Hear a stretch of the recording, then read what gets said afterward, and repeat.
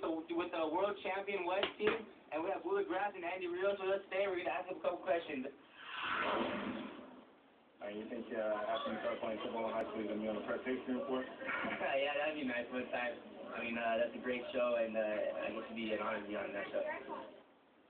Ladies and gentlemen, boys and girls, please welcome 13-year-old Little League World Series champion, uh, Luke Ramirez. Take it away, Luke. Good evening, San Diego. I'm Luke Ramirez. Hitting a baseball in Williamsport is a breeze compared to sitting on the white-hot spotlight of the idol stage. My goal in life is to sit in that chair, but tonight this chair will have to do. By assignment, Mount Carmel Madison. Brian Burke, roll the highlights. Madison cheerleaders got the crowd riled up, but Mount Carmel opened the game as quarterback Wesley Wallace takes the ball 65 yards, but will be tackled at the two-yard line. But the ball will be ran in, and uh, Carmel will take the lead 7 to 0. In the second, Lester Fondney takes the ball 50 yards to bring Madison back, but they will miss the extra point to make the game 7 to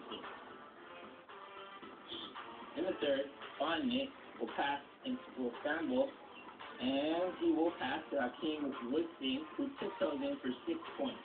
Madison takes the lead 19 to 10. Fondney will then to number seven, Deshaun Hardwick, for the six-yard touchdown. The final, 34-17. Afterwards, I spoke with the star of the game, Lester Fondney.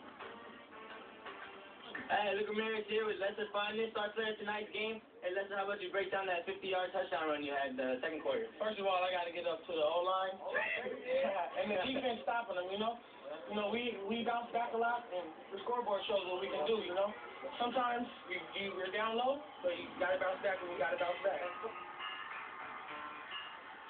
The win gets the Warhawks off to a 1-1 start. The loss drops Mount Carmel to 0-2. So concludes my work on the PPR, but my work on the autograph line is just beginning. Paul, back to you. Yeah, that's right. Uh, All right, all right, what is that? What is that? What is that? Okay, all right, all uh, Luke goes home tonight with this right, Sony right. sound system, 450 watts of power, coupled with the technology to dock five iPods at the same time. You can see it there, uh, right in the corner of this. That that's the Sony Mobile Recording Studio, and that one belongs to Luke Ramirez. Okay, PPR is going to take a short commercial break, but before we